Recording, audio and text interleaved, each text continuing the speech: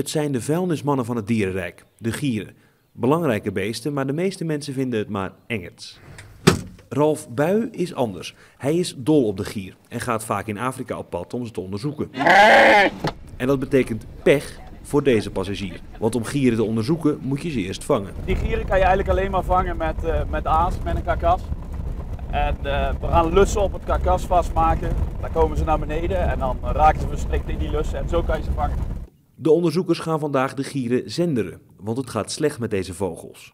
Het is een grote ramp. Uh, gieren nemen enorm snel af in heel Afrika. En het is een soortgroep die op dit moment eigenlijk uh, het, het snelste afneemt van alle grote roofvogels en van heel veel vogels eigenlijk. Ze komen vaak zo aan hun einde, vergiftigd door olifantenstropers die bang zijn dat gieren hen verraden. Als die gieren op de karkas van een olifant uh, afkomen, en dat doen ze vrij snel, dan hangen ze erboven te draaien. En uh, anti-stroperijteams zien dat vrij goed van een grote afstand al. Ja, en die uh, olifantenstropers zijn wel drie kwartier bezig om een slagtand af te zagen. Dus terwijl ze werken komen die gieren boven ze hangen. Nou ja, goed, dat verraadt dan hun positie. Een enkel geval kan honderden gieren het leven kosten. Ze planten zich langzaam voor, dus gaat het nu hard achteruit.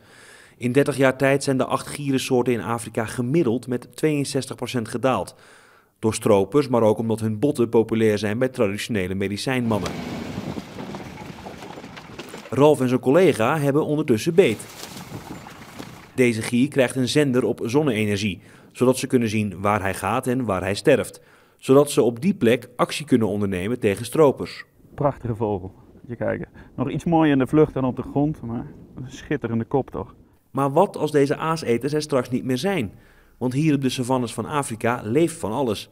En er gaat dus ook veel dood. Als dat blijft liggen, dan komen andere aaseters erop af. Die kunnen toenemen in aantal in een gebied waar er ineens veel meer vlees beschikbaar is. De kans op verspreiding van ziekte neemt daarmee toe. Er komen dus meer jakhalzen en hyena's die hondsdolheid kunnen overbrengen.